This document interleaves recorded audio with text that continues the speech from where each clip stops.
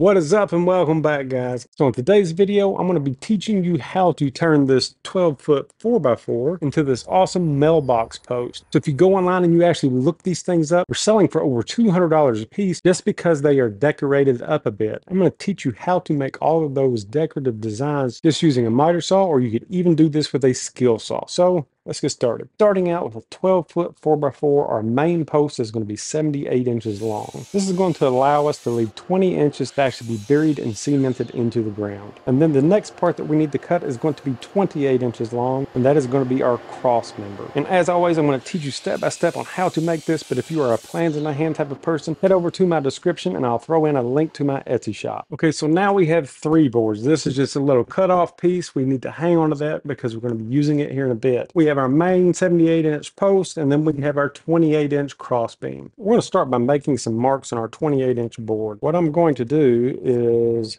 start by making my first mark at three quarter then I'm going to make a mark at six and a half and then at 10 this is the section that the cross member will overlap our post. Then we'll draw a straight mark at those points. We'll be taking this section out, so I'm just going to put a little X here. And this will be cut at 30 degrees. I'll show you that just here in a minute. And then let's move down to our end. We're going to measure an inch and three quarter down, make a mark, then an inch and three quarter and make a mark. We'll use a straight edge to connect those two points. This is going to be the front of the post where the mailbox actually sits. And now we need one more mark and it's going to be from the left hand side. We just put our angle. We're going to measure three and a half inches in. We'll make our mark. Then we're also going to make a mark at three and seven eighths. This will be the groove that we're going to be cutting into these. We'll take our straight edge or a speed square in this case just make our line. So we have the layout. This is our angle, and then we have everything that we need to go all the way around. So now we know that this side will be our half lap side, and then this is going to be our angle. Now to mark our grooves on the right hand side, we're just going to go to our three inch, make a mark, and three and three eighths, and then make a mark.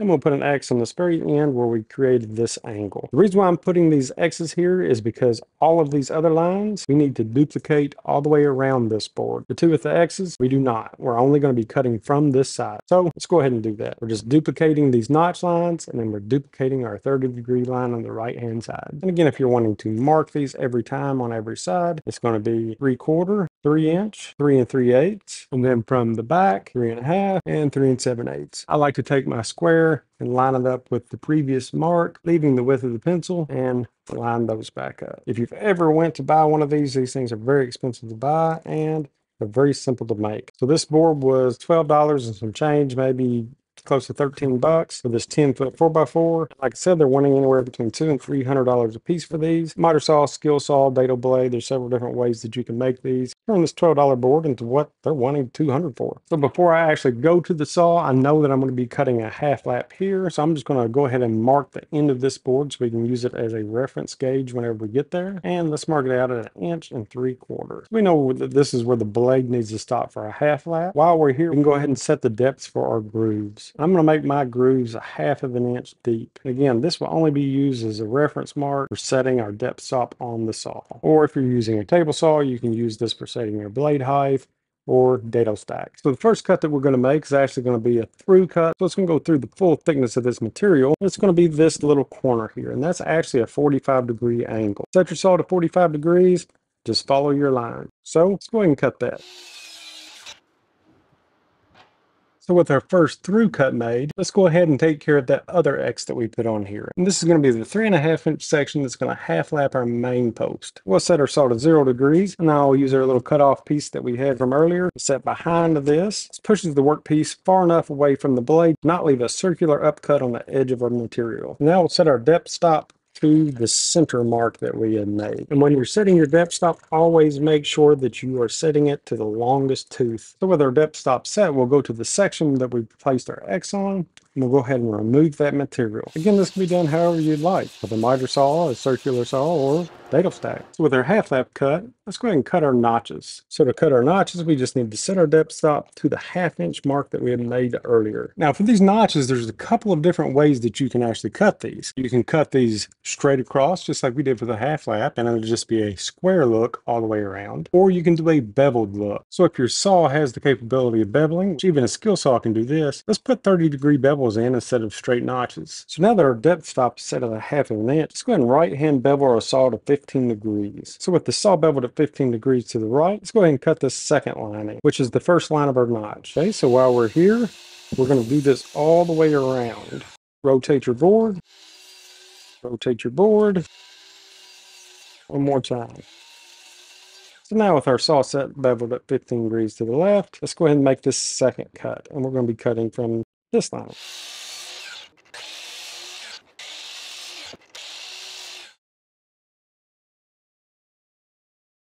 Okay, since our saw is already set at 15 degrees, let's go ahead and slide this board on down. We'll be making the exact same cut on this last line.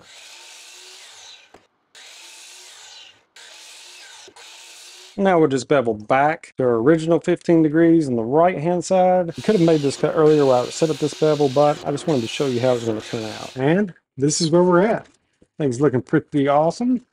We have our notch, we have our grooves, looking good. So just for reference, this 45 degree angle that we cut earlier will be on the bottom. So there's one more line to cut or four more cuts left on this board. That's going to be these very ends. That will be making kind of like the cap. That's going to be horizontal, but it'll still be an end cap. And to make this cut, I'm going to bevel my saw 30 degrees to the left and lift up my depth stop. Quick tip, anytime that you are beveling anything, make sure that your fence is slid over enough to where you can bevel. Or you end up cutting through your fence. We're just going to line it up with the marks that we had made here.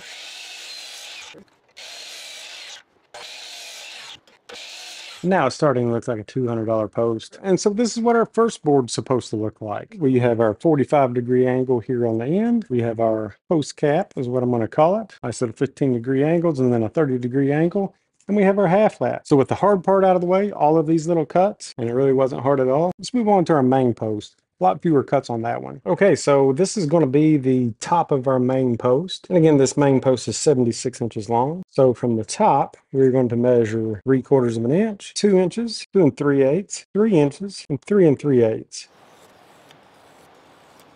that's what it should look like. And like before, we'll just repeat these measurements all the way around our board. So with our post cap and designs measured and marked all the way around the board, let's go ahead and lay out the receiving half lap for this board. We'll be measuring 16 inches down, then 19 and a half, which will give us a three and a half inch gap. So with our main post all marked out, let's head back to the saw. So the last time that we were over here, we were putting this 30 degree cap onto our horizontal board. So since the saw is already set up at 30 degrees, let's go ahead and do the exact same thing for our first line that we put on this board.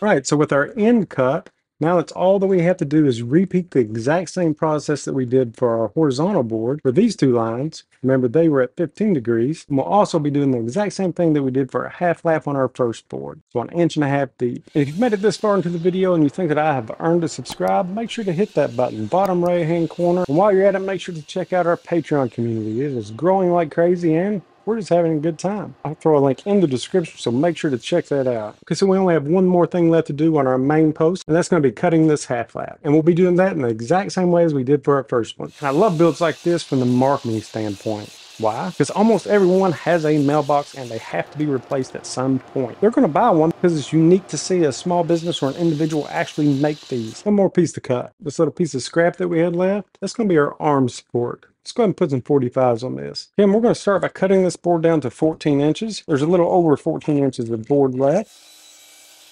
Let's put matching 45 degree angles on each side. So with the saw set at 45 degrees, we're to start our cut from the longest corner. Now we'll just flip the board straight over, pointed sides against the fence, and make our second 45 degree. All right, so with all of our parts cut, we have our half lap that will lay right on top of the half lap that we cut into our main beam. Now we'll take the 14 inch 45 and slide it right into place. Now that's all we need to do is to attach everything. And to do that, I'm going to be using three and a half inch exterior screws. I'm going to start right here with our half laps.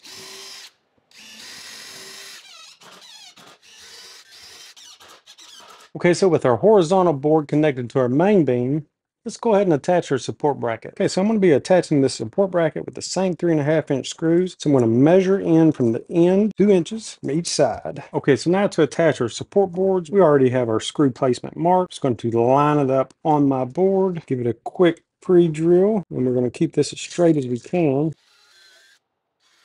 Quick tip when you're trying to get a hole started on an angle, you may have to start it straight and then give it a little twist and go straight down.